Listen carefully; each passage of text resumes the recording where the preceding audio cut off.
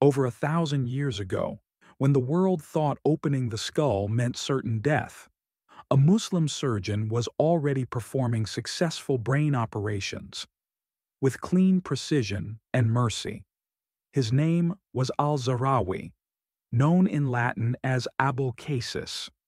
In 10th century Cordoba, he led the world's most advanced hospital and wrote the 30-volume Al-Tasrif, a complete encyclopedia of surgery, anatomy, and healing.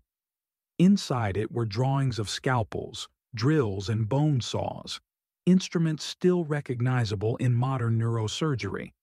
He described how to treat skull fractures, remove bone fragments, and stop bleeding, all while keeping wounds clean and patients stable.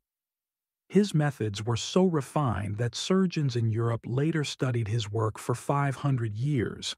He wasn't just a doctor, he was the father of modern surgery. Follow Untold Islam, where faith and science meet with precision.